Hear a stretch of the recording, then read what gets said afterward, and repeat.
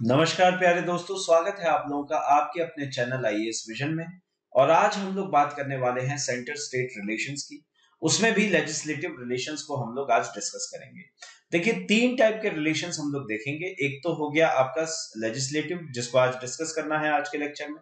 दूसरा होगा हमारा एडमिनिस्ट्रेटिव और तीसरा रहेगा हमारा फाइनेंशियल रिलेशंस तो इन सब के बारे में बहुत ही डेप्थ में डिटेल में डिस्कशन होगा। पॉलिटी सीरीज़ ही चल रहा है और इसमें पार्ट इलेवन पे हम लोग आ चुके हैं।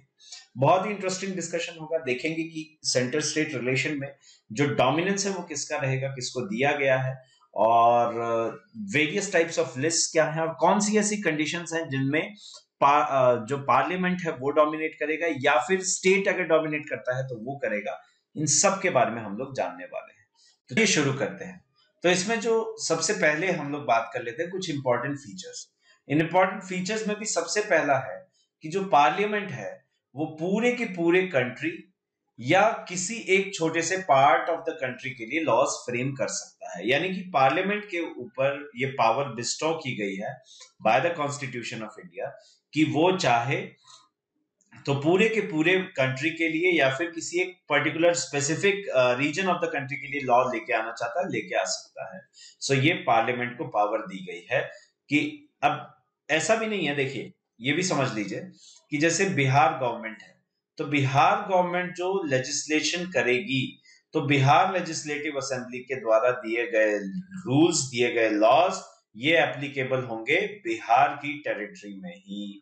वो राजस्थान में एप्लीकेबल नहीं होंगे राइट लेकिन जो पार्लियामेंट द्वारा या यूनियन गवर्नमेंट द्वारा बनाए गए, फ्रेम किए गए लॉज होंगे लेजिस्लेशन होगा, वो पूरे के पूरे इंडिया के टेरिटरी में एप्लीकेबल होगा। एंड अगर वो चाहें तो बिहार के लिए भी स्पेसिफिक बना सकते हैं। मामले कुछ चुनिंदा है, उनको हम लोग देखेंगे। उसके अलावा ये भी सवाल उठता है कि क्या पार्लियामेंट जो है, वो स्टेट के लिए लॉज बना सकता है? बना सकता है।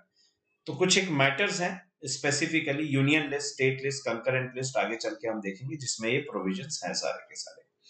उसके अलावा एक और इंपॉर्टेंट फीचर्स कुछ ऐसा है कि जो इंडियंस हैं, वो सिर्फ़ और सिर्फ़ भारत में ही नहीं रह रहे, भारतवर्ष के बाहर भी कुछ लोग अपनी आजीविका, रोज़गार के लिए बाहर रहना पड़ रहा है, विदेशों में रहना पड़ रहा है, या फिर बाहर रह के ही कंट्री को सर्व कर रहे हैं तो उनसे रिलेटेड जो भी लॉज होंगे, जो भी नियम होंगे, उसका, उसको फॉर्म करने का जो पावर है उसको फॉर्म करने का जो एक पावर दी गई है, एक एक नियम दिया गया है, वो सिर्फ़ और सिर्फ़ किसके लिए दिया गया है? पार्लियामेंट के लिए। यानी कि ओनली पार्लियामेंट कैन लेजिस्लेट और make laws for extra territorial legislation extra territorial का मतलब हुआ जो भारत की सीमा से बाहर का मैटर आ जाता है। इसको 2011 में सुप्रीम कोर्ट ने GVK industries versus industries versus IT office इस फैसले में, इस वर्डिक्ट में क्लियर कर दिया था कि जो गवर्नमेंट ऑफ़ इंडिया मतलब बेसिकली हम यूँ बात करें कि जो हमारा पार्लियामेंट है, वो पार्लियामेंट के ऊपर जो पावर बिस्ट्रो की गई है एक्स्ट्रा टेरिटोरियल लेजिस्लेशन की, ये एब्सोल्यूट नहीं है। जबकि ये सिर्फ़ और सिर्फ़ इंडियन सिटीजन के लिए एप्लीकेबल ठीक है? तो ये सिर्फ़ और सिर्फ़ इंडियन सिटीजन के रिस्पेक्ट में ही लेजिस्लेटिव पावर दी गई है एक्स्ट्रा लेजिस्लेटिव पावर जो है एक्स्ट्रा टेरिटोरियल लेजिस्लेशन के लिए। So it is something like this उसके बाद आ जाता है, कौन से ऐसे मामले हैं जिसमें लेजिस्लेटिव राइट्स को डिस्ट्रीब्यूट किया गया है? तो यहाँ पे हम लोग देख रहे हैं distribution of distribution of legislative rights तो लेजिस्लेटिव राइट्स के डिस्ट्रीब्यूशन की हम लोग बात कर लेते हैं। अब लेजिस्लेटिव राइट्स के डिस्ट्रीब्यूशन में अगर देखा जाए तो सबसे पहला हमारा जो बनता है वो है यूनियन लिस्ट अब सबसे पहला जो यूनियन लिस्ट है वो क्या है? देखिए यूनियन लिस्ट में आ जाता है defence banking system foreign affairs atomic energy currency census inter state trade commerce businesses insurance etcetera तो ऐसे कुल मिला के सौ मामले हैं हंड्रेड मैटर्स हैं, जिनके ऊपर सिर्फ़ और सिर्फ़ यूनियन लिस्ट में जिनको रखा गया है। यानी कि सिर्फ़ और सिर्फ़ पार्लियामेंट के पास लेजिस्लेटिव राइट्स हैं लेजिस्लेटिव पावर्स अच्छा डिफेंस क्यों? जैसे कि फॉर एग्जांपल अगर एनिमी के अगेंस्ट एनिमी अटैक के against for example Himachal Pradesh को प्रिवेंट करना है तो उत्तराखंड को भी उतनी ही ज़्यादा प्रोटेक्शन की ज़रूरत है। तो ये मामला स्टेट लिस्ट में नहीं जाएगा। यानी कि स्टेट डिसाइड नहीं करेंगे कि किस लेवल की प्रोटेक्शन चाहिए, या फिर बीएसएफ ही लगेगी वहाँ पे, या फिर सिर्फ़ आर्मी ही लगेगी, या एयरफोर्स कब जाएगी। तो उसमें स्टेट का कोई लेना देना नहीं है। वो सिर्फ़ और सिर्फ़ यूनियन मैटर है। उसी प्रकार से फॉरेन अफेयर्स हो गया। जैसे गुजरात के साथ रिलेशन अगर यूएसए के अच्छे हैं तो वैसे ही रिलेशन आपके बिहार के पब्लिक के साथ या बिहार के स्टेट के साथ भी होने चाहिए, इसमें कोई डिफ्रेंशिएशन नहीं होना चाहिए, इसलिए मैटर रखा गया। तो यानी कि ये वो मामले हैं जिनमें यूनिफॉर्मिटी चाहिए, पूरे थ्रू आउट यूनिफॉर्मिटी की रिक्वायरमेंट है। पूरे देश भर में ऐसे नियम जिनमें यूनिफॉर्मिटी की ज़रूरत है, जिनमें सद सद भावना की ज़रूरत है, बराबर होने की क्वालिटी की ज़रूरत है तो इसको हम लोग यूनियन लिस्ट में देखते हैं। उसके बाद आता है स्टेट लिस्ट जैसे पब्लिक ऑर्डर हुआ, जैसे पॉलिसिंग हुई पब्लिक हेल्थ हुई सैनिटेशन हुआ एग्रीकल्चर हुआ लोकल गवर्नमेंट हुआ गैम्बलिंग हुआ, ऐसे बहुत सारे मैटर हैं और कुल इकसठ ऐसे मैटर्स हैं जो कि स्टेट लिस्ट में रखे गए हैं। और स्टेट लिस्ट में रखे हुए मैटर्स पे लेजिस्लेट करने का काम सिर्फ़ और सिर्फ़ और सिर्फ़ स्टेट लेजिस्लेटिव का है स्टेट लेजिस्लेशन का है और सिर्फ़ और सिर्फ़ स्टेट लेजिस्लेटिव असेंबलीज ही इसमें पार्टिसिपेट कर सकती हैं। So that is why state list में ये आता है। उसके अलावा आप देखिए, जैसे फॉर एग्ज़ाम्पल गुजरात की बात कर लें तो गुजरात में क्या है कि आपका बैन कर दिया गया है अल्कोहल लिकर बैन है। वैसे ही बिहार में भी लिकर बैन है, लेकिन उनके एडजेसेंट स्टेट्स की बात कर हैं जैसे राजस्थान में है तो राजस्थान में लिकर बैन नहीं है राइट उत्तर प्रदेश उत्तर प्रदेश में लिकर बैन नहीं है। ऐसा होने का कारण यह है क्योंकि पब्लिक हेल्थ के डोमेन में आता है और इसके ऊपर, इस मैटर के ऊपर बनाने का जो राइट है लेजिस्लेट करने का राइट है, जो पावर है वो सिर्फ़ और सिर्फ़ स्टेट लेजिस्लेशन को दी गई है। उसके अलावा यानी कि ये डिपेंड करता है स्टेट टू स्टेट अब जैसे छत्तीसगढ़ का एग्ज़ाम्पल ले लें। छत्तीसगढ़ में अनुसूचित जनजातियाँ बहुत ज़्यादा है, यानी कि शेड्यूल्ड ट्राइब्स का नंबर ज़्यादा है परसेंटेज पॉपुलेशन ज़्यादा है।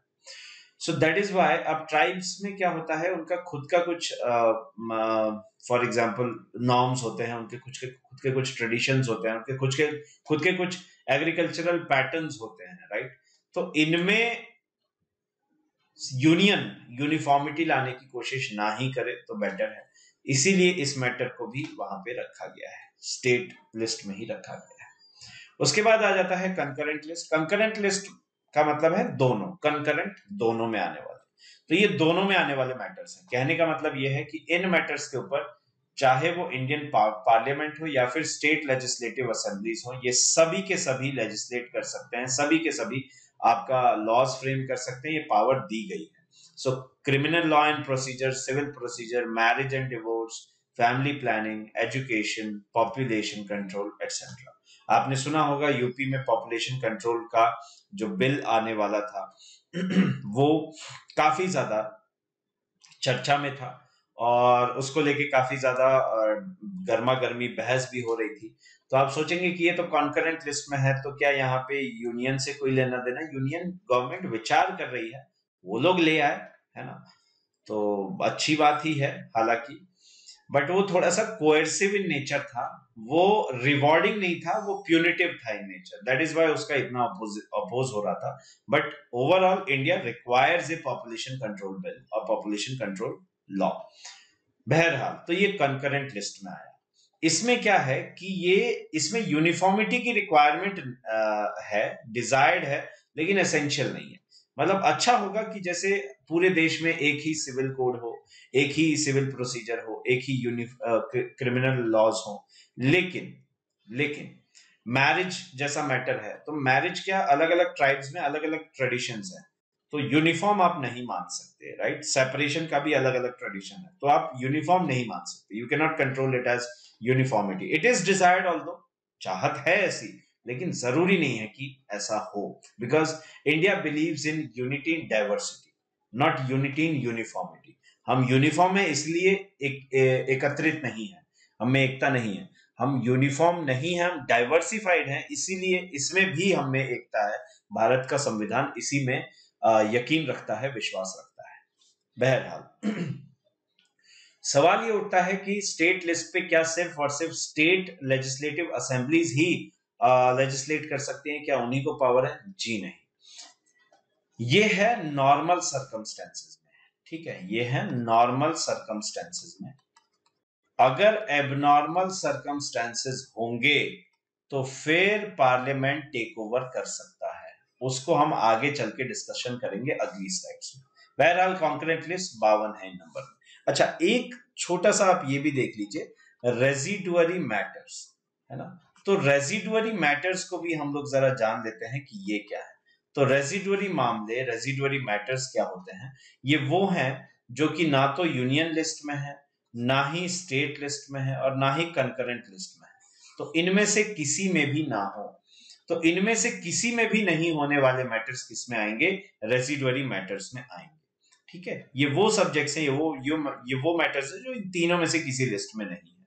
है ना? और सवाल ये उठता है कि फिर इन मामलों में लेजिस्लेट कौन करेगा? तो वो सारी की सारी पावर किसको दे दी गई है? पार्लियामेंट को दे दी गई है। अच्छा यूएसए की बात करें यूनाइटेड स्टेट्स ऑफ़ अमेरिका तो ये स्टेट्स को है। तो ये फेडरलिज्म का अलग ही शाइनिंग एग्ज़ाम्पल है। बट इंडिया में डोमिनेंस किसको दी गई है? पार्लियामेंट को। तो इन रेजिडुअरी मैटर्स के ऊपर कौन लेजिस्लेट कर सकता है? फार्मर्स ओनली बहरहाल, आगे बढ़ते हैं। उसके बाद देख लेते हैं पार्लियामेंट्री लेजिस्लेशन इन स्टेट्स देखिए, मैंने क्या कहा था कि स्टेट लिस्ट में कुल इकसठ मामले हैं जो कि मेंशनड है। लेकिन ज़रूरी नहीं है, ये सिर्फ़ और सिर्फ़ नॉर्मल सर्कमस्टेंसेज में नॉर्मल सिचुएशन नॉर्मल कंडीशन में state legislative body state legislative assembly इस पर लॉज बनाएगी। अब कौन से वो एबनॉर्मल सिचुएशन है जिसमें पार्लियामेंट जो है वो टेक ओवर कर सकता है लेजिस्लेटिव रोल के मामले में? तो उनमें देखिए, सबसे पहला है आर्टिकल 249 इसमें क्या है कि resolution passed by Rajya Sabha by special majority देखिए, राज्यसभा जो है, वो हमने देखा था upper house of the parliament है। और इस upper house of the parliament में जो मेंबर्स आते हैं, वो सीधे सीधे स्टेट रिप्रेजेंटेटिव्स होते हैं। तो अगर मान लीजिए स्टेट रिप्रेजेंटेटिव्स मिलके, या हम यू बोले राज्यसभा मिलके नेशनल इंटरेस्ट में, ये इंपॉर्टेंट है कि किसमें होना चाहिए? नेशनल इंटरेस्ट में होना चाहिए। नेशनल इंटरेस्ट में एक रेजोल्यूशन पास करते हैं, और वो भी सिंपल नहीं स्पेशल मेजोरिटी से, यानी two third present and voting and effective majority तो अगर ये इसके साथ में ये लोग करते हैं पास। तो फिर क्या होगा? पार्लियामेंट के पास में एक पावर आ जाती है जिसपे वो लेजिस्लेट कर सके स्टेट मामलों में। Confuse let me give you an example मैं आपको एक एग्जांपल से समझाता हूँ।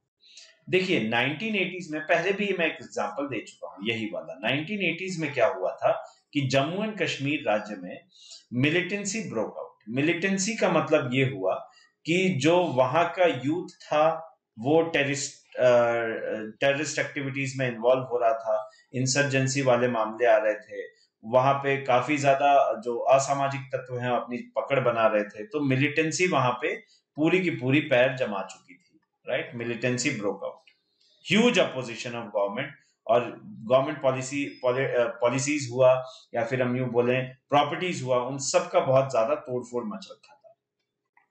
यानी कि लॉ एंड ऑर्डर की धज्जियाँ उड़ गई थी। अब अगर आप लॉ एंड ऑर्डर की बात करेंगे तो लॉ एंड ऑर्डर तो स्टेट लिस्ट में आता है राइट ये स्टेट लिस्ट में आता है। तो हुआ ये कि उस समय उस समय ये एक रेजोल्यूशन पास किया गया राज्यसभा द्वारा।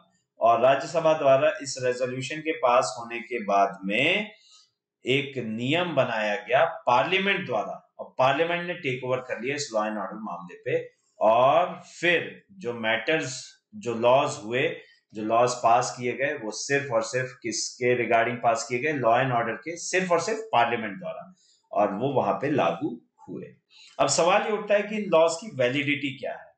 इन लॉज की वैलिडिटी की बात करें कि इनकी वैलिडिटी है वन ईयर की। उसके बाद वो लैप्स हो जाएँगे। ठीक है? सवाल ये उठता है कि वन ईयर बाद कंटिन्यू करना हो तो क्या हो? अगर एक बार बाद वापस से कंटिन्यू करना है तो अनदर रेजोल्यूशन वो रेजोल्यूशन राज्यसभा में ही पास होगा। ठीक है? इन राज्यसभा ओनली और वो भी स्पेशल मेजोरिटी से।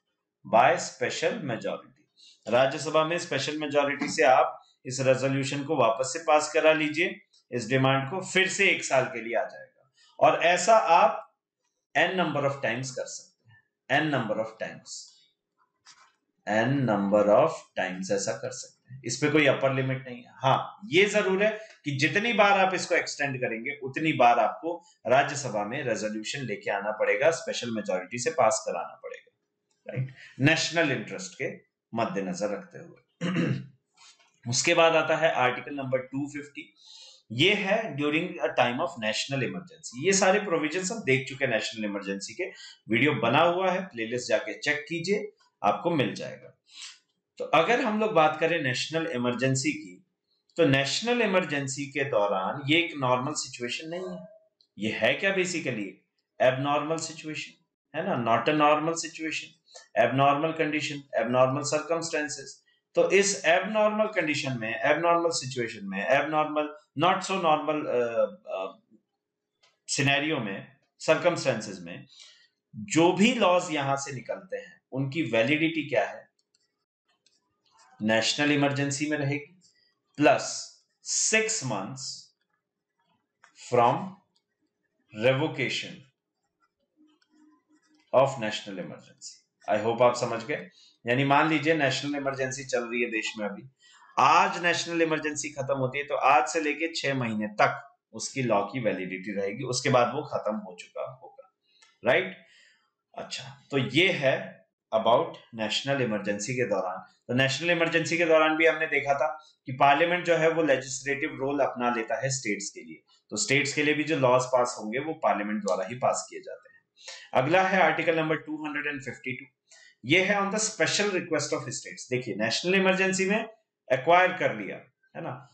अब स्पेशल रिक्वेस्ट अगर स्टेट्स खुद बोलते हैं कि नहीं साहब, आप कीजिए, है ना? लेजिस्लेटिव रोल आप प्ले कीजिए। ऐसा किया जा सकता है। देखिए, ऐसा हुआ था 1976 में एक लॉ आया था और वो था urban land ceiling regulation act. तो urban land ceiling regulation act 1976 ये जो आया, इस 1976 के एक्ट में हुआ ये था कि 11 कुल ऐसे स्टेट्स थे जिन्होंने रिक्वेस्ट की। किसको? सेंटर को। कि साहब, आप एक काम कीजिए प्लीज़ आप एक लैंड सीलिंग के रिगार्डिंग एक्ट लेके आइए। तो पार्लियामेंट ने कहा, ठीक है, कोई बात नहीं। दीजिए, हमें ये हैंड ओवर कीजिए। जब ये मैटर हैंड ओवर हुआ तो इसका मतलब ये हुआ सरेंडर हो गया। यानी कि साहब, हमसे नहीं हो रहा, आप कर दीजिए। तो ये सरेंडर कर दिया कौन सा मामले को? कौन से मामले को? अर्बन रेगुलेशन मामले को। ठीक है? अर्बन प्लानिंग मामले को। जो कि था स्टेट लिस्ट में। कहा ट्रांसफ़र कर दिया? यूनियन लिस्ट अब ये वापस से सेंटर चाहे तो इनको दे सकता है बट इन्हें मिलेगा नहीं। सेंटर अगर चाहे तो ही दे सकता है। एक बार सरेंडर करने के बाद बट इन्हें ऑटोमेटिकली नहीं मिलेगा। यानी कि अब ये लोग इसमें, इन मैटर्स में लेजिस्लेट नहीं कर सकते। बिकॉज़ ये एक तरीके की इनकॉम्पिटेंसी है। राइट इनकॉम्पिटेंस है. सॉरी सो so, ऐसा हुआ था 1976 में जो urban land ceiling regulation act आया था उसके तहत। अच्छा ये जो एक्ट पास हुआ ये सिर्फ़ उन 11 रिक्वेस्टेड स्टेट्स में ही लागू होगा। यानी उन 11 स्टेट्स में ही लागू होगा। 11 के अलावा नहीं। तो ये सिर्फ़ और सिर्फ़ 11 स्टेट्स में लागू होने वाला है ये ध्यान रखिएगा। जिन्होंने रिक्वेस्ट की है। मतलब ज़रूरी नहीं इलेवन करें एक से ज़्यादा भी कर सकते हैं। बस एक से ज़्यादा होने चाहिए। तो पहली चीज़, जिन स्टेट्स ने रिक्वेस्ट की है, उन्हीं में लागू होगा। दूसरा, यहाँ पे एक बार जब वो मैटर सरेंडर हो गया तो अब ये फिर सेंटर के ऊपर है। वो चाहे तो इसको वापस से उनको रिटर्न कर सकता है उस मैटर को। बट अगर नहीं करता तो स्टेट्स उसको गेट बैक नहीं कर सकते। उन मैटर्स के ऊपर यूनियन ही या पार्लियामेंट ही लेजिस्लेट करेगा। यही पावर्स है। राइट इसके अलावा और भी बहुत सारे थे एग्जाम्पल्स अगर हम लोग बात करें तो wildlife protection act right wildlife protection act जो कि 1972 का था यस 1972 का था।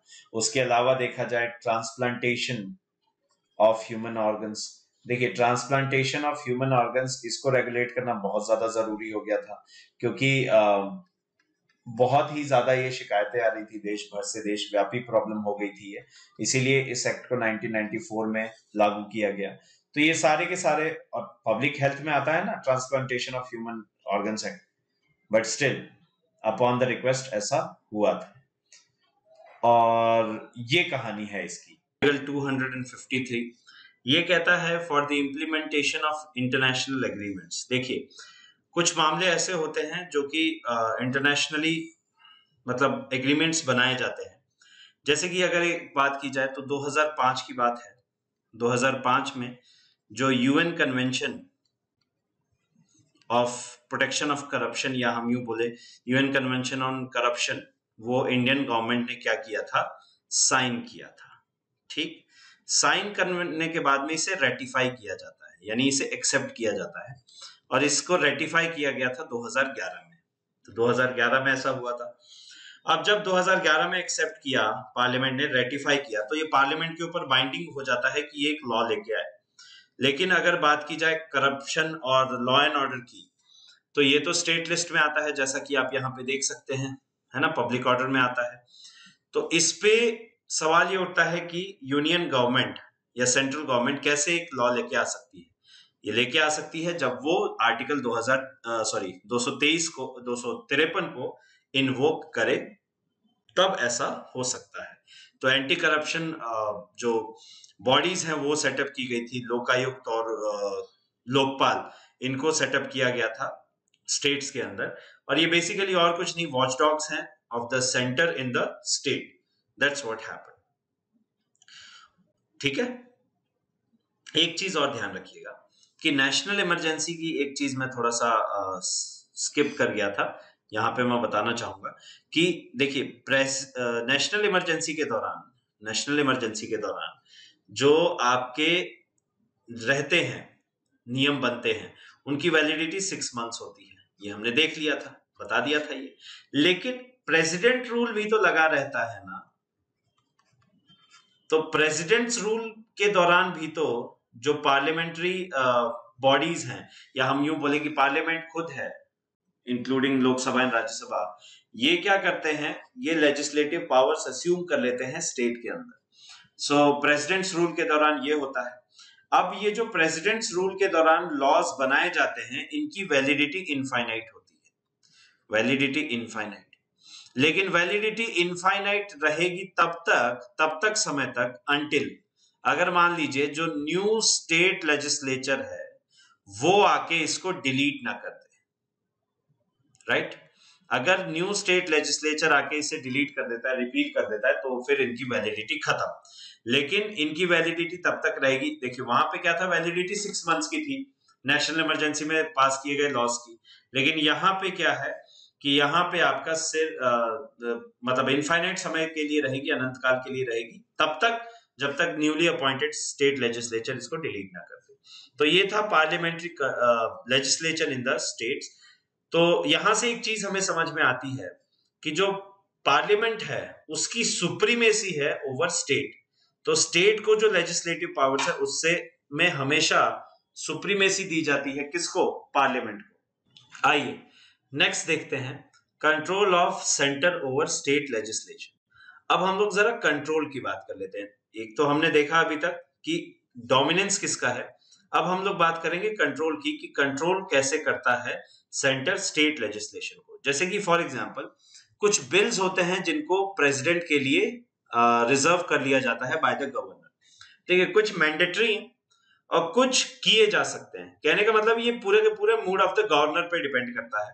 और जो बिल्स रिज़र्व कर लिए गए प्रेसिडेंट के लिए, हम जान चुके हैं पहले वो उसमें फिर एब्सोल्यूट मेजोरिटी आ जाती है of the president right to the absolute majority sorry absolute veto power आ जाती है टू द प्रेसिडेंट अब वो जैसा चाहे उस पर एक्ट कर सकते हैं राइट right? तो इसमें कुछ मतलब बाइंडिंग वगैरह कुछ नहीं होता। तो देखिए अच्छा उसमें भी प्रेसिडेंट का ही प्रेसिडेंट को भी एड एंड एडवाइस फॉलो करनी पड़ेगी सेंट्रल काउंसिल ऑफ़ मिनिस्टर्स की। तो ये बात हमेशा ध्यान रखने वाली है। तो reserving bills for the consideration of president अब इसमें कौन कौन से हैं? जैसे मान लीजिए कि जो स्टेट गवर्नमेंट है, वो रेस्ट्रिक्शंस लाना चाहती है freedom of trade and commerce तो freedom of trade and commerce के तहत अगर लेके आना चाहती है तो ये बिल को प्रिजर्व करना ज़रूरी है भाई, है ना? इसको रोकना ज़रूरी है। रोकना इन द सेंस कि इसको रिज़र्व करना है प्रेसिडेंट के साइन के बाद ही इसको पास किया जाएगा। उसके अलावा मान लीजिए आर्टिकल 31 सी इसके अंडर में, यानी कि थर्टी वन सी जो हुआ, ये हुआ आपका दो डीपीएसपी को इफ़ेक्ट में लेके आने का।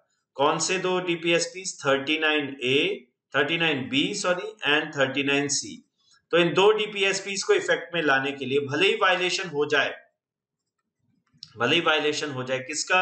आर्टिकल 14 एंड 19 का right to freedom of speech and expression और उसके अलावा राइट टू फ्रीडम बेसिकली और उसके अलावा राइट टू इक्वालिटी तो भी आपको क्या करना पड़ेगा? कंसेंट की रिक्वायरमेंट होगी राइट उसके अलावा आर्टिकल 31 बी के अंडर भी अगर कोई आप लॉ लेके आते हैं, इसका मतलब ये हुआ कि किसी भी लॉ को आप नाइन्थ शेड्यूल के अंदर प्लेस करना चाहते हैं। नाइन्थ शेड्यूल में जो भी लॉस प्लेस्ड है, उनका कोई जुडिशियल रिव्यू नहीं होता तो भी आपको कंसेंट की रिक्वायरमेंट है राइट right? और अगर आपको किसी की प्राइवेट प्रॉपर्टी एक्वायर करनी है तो भी आपको कंसेंट की रिक्वायरमेंट है।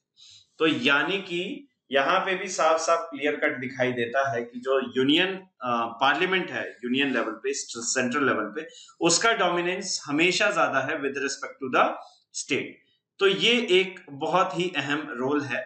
और यहाँ पे बिल्स को रिज़र्व किया जा रहा है। इस तरीके से कंट्रोल असर्ट किया जा रहा है। उसके अलावा हम लोग देख चुके हैं कि मनी बिल्स और हमने बात किया था, वो बिल्स जो स्टेट द्वारा पास हो रहे हैं, और जुडिशियरी को कंसर्न करते हैं, उनको भी रिज़र्व किया जा सकता है। उसके अलावा रिक्वायरिंग प्रीवियस सेंक्शन वो हमने देख ही लिए। आर्टिकल 31 ए बी सी इन सबको इन सब के अंडर अगर कोई एक्ट आना चाह रहा है या बिल पास कराना चाह रहा है स्टेट लेजिस्लेचर तो। उसके अलावा फाइनेंशियल इमरजेंसी के दौरान जितने भी मनी बिल्स हैं एंड सारे के सारे बिल्स हैं, वो प्रेसिडेंट के कंसिडरेशन के लिए रिज़र्व कर दिए जाते हैं।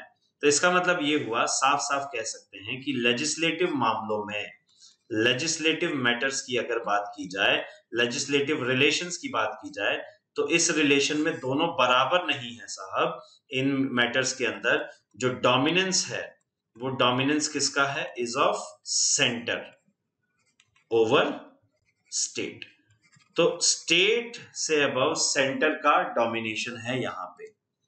नेक्स्ट एक छोटा सा हम लोग सेगमेंट है, उसको देख लेते हैं। दो डॉक्ट्रिन्स देखेंगे।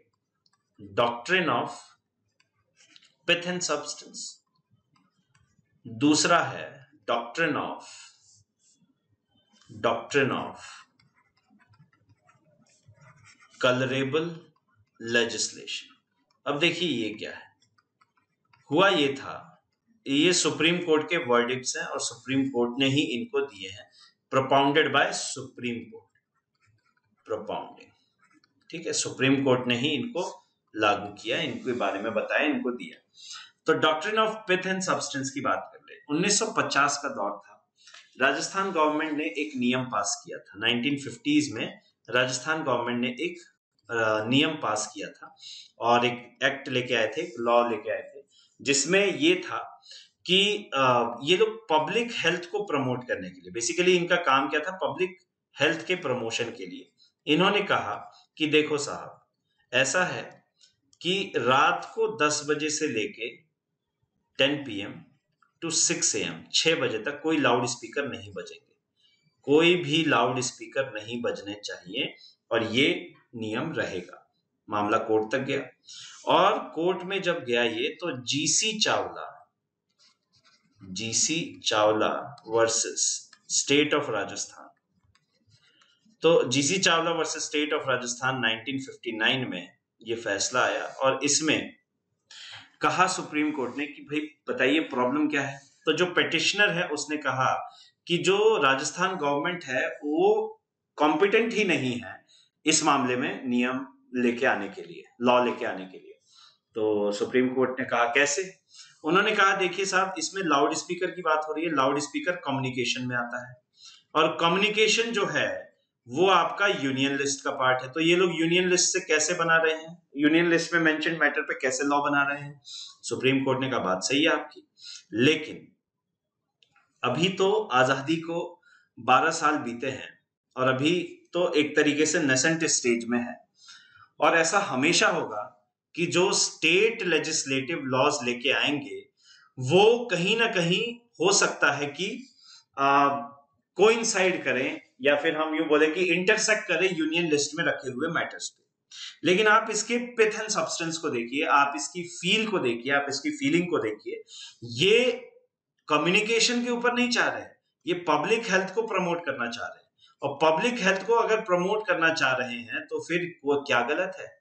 ये तो इनका मामला है ना। ये तो मैटर कहाँ पे मेंशनड है? ये तो आपका मैटर मेंशनड है क्लियरली स्टेट लिस्ट में। तो आप फील को देखिए, आप वर्ड्स पे मत जाइए। तो ये था डॉक्ट्रिन ऑफ़ पिथन सब्सटेंस उसके अलावा एक और डॉक्ट्रिन दिखती है डॉक्ट्रिन ऑफ़ कलरेबल लेजिस्लेशन ये दिया गया 1961 के बहुत ही famous case Moopil Nair versus state of Kerala तो Moopil Nair versus state of Kerala 1961 इसमें जो सुप्रीम कोर्ट ने वर्डिक दिया था, वो ये था। अब देखिए हुआ क्या था। केरला गवर्नमेंट जो थी, उसने शुरू कर दिया था एक लैंड टैक्स, ठीक है? तो लैंड टैक्स ये लोग लेते थे।